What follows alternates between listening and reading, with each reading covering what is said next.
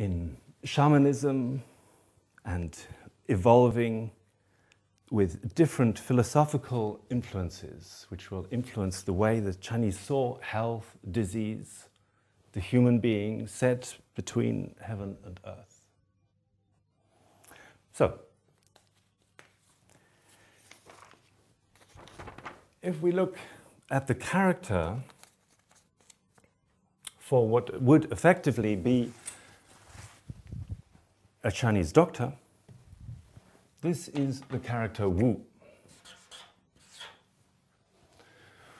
Above is heaven, below is earth. Between them, joined, is some kind of line, some kind of pole, some kind of link. A link between heaven and earth. A link between the invisible and the visible.